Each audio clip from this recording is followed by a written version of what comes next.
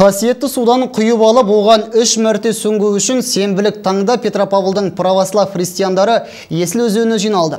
Қаңтардың 19-ы олар ең көне әрі басты діни мейрамдардың бірі крещение Господня мерекесін атап өтті. Бұл күні қалалық жағажайдағы ойыққа келіп, дәстүрлі діни рәсімдерді орындаған діндарлардың қатары көп болды. Толығырақ Саят Ермек баяндайды.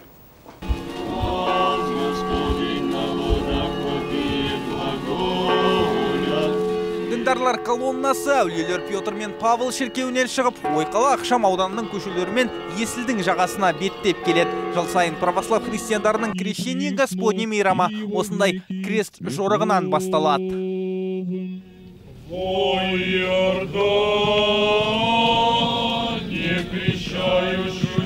Тебе,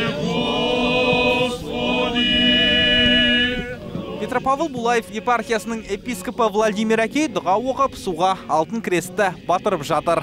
Осылайша православтар крещение мейрамында су атаулы жаңарып тылсым қасиетке ие болады дейді. Сондықтан қасиетті судан алу үшін ыдыстармен келгендер өте көп. Жалпы бұл күні құтыға құйылып алынған тіршілік көзі бір жыл бойы шипалық қасиетін жоғалтпайды деген сенім бар. Ал сәл әрірек діндарлар жаппай қасиетті суға шомылып жатыр. Күнәләрін жуып шайып, жаңа өмірге қадам басу үшін олар ойықта тұрып суға бастарын батырып үш рет шомылады. Бұдан бөлек бұл мықты денсаулықтың кепілі дейді мұнда жиналғандар. Как вам водичка? Вода шарканаль.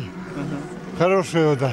Не холодно? Нет, жарко даже немножко. Поздравляю всех с крещением. Солтүстік қазақстандықтарды крещение мейрамымен құттықтаймын. Осылай мерекеде келіп, суға шомылып жүргеніме 10 жыл болды.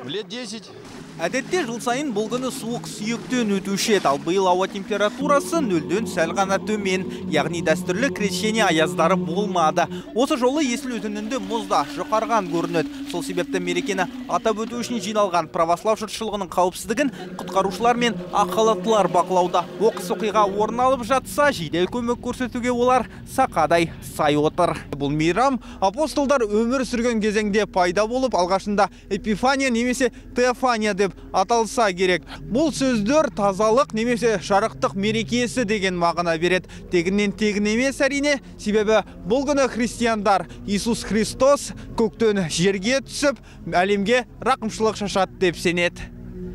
Саят Ремек Жұлдызбек Ермұқанов, муниципалдық телеарна.